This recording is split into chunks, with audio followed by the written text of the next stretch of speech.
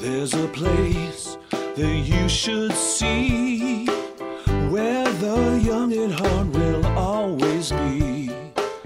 Come along with me to playland at the beach.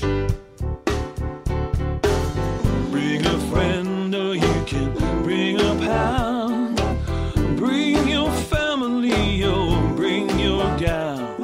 Come see Laughing Sal and playland at the beach. It was all atmosphere.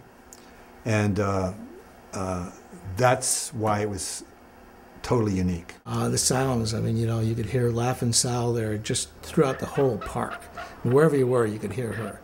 Arms out, like, you know, uh, laughing, and, you know, it's just like, come on in. We used to wear dresses, skirts, and blouses and that, never to the fun house because of their little air holes that they had.